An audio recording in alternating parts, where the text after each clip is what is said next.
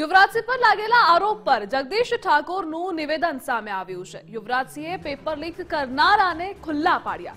યુવરાજસિંહ સાથે મારી વાત થઈ, યુવરાજસિંહ હતાશ હતા. યુવરાજસિંહે મને કહ્યું, મારા પરિજનોને ધમકાવે છે. અમે સરકારને ચેતવીએ છીએ કે રૂકજા બહુ થયું. યુવરાજસિંહનો વીડિયો જોયા પછી મેં સીધી એમની સાથે વાત કરી. મેં એમને પૂછ્યું, મેં કહ્યું યુવરાજસિંહ કેમ આટલા બધા દુઃખી થયા છો? તો કે, જગદીશભાઈ, આ ડમી વિદ્યાર્થીઓનું આખું રેકેટ મેં પકડ્યું છે. અને એમણે મને ફોન ઉપર કહ્યું, આ મધ્યપ્રદેશના વ્યાપમ ગોટાલા કરતાં પણ વધારે મોટો આ નોકરીઓનો ગોટાળો છે. હું વિધાનસભામાં હતો ત્યારે ખોટા બક્ષી પરના સર્ટિફિકેટ લઈને કેટલા લોકો નોકરી લાગ્યા છે એ મુદ્દો પણ ઉછળ્યો હતો.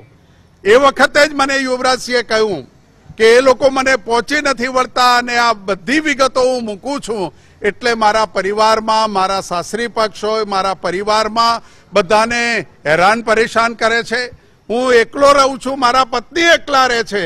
એને પણ હવે બીક લાગે છે અને આ બધું જોતા મેં એમને કહ્યું છે કે જ્યારે પણ સરકાર કઈ આડું અવળું કરે તો અમે બધા તમારી સાથે છીએ.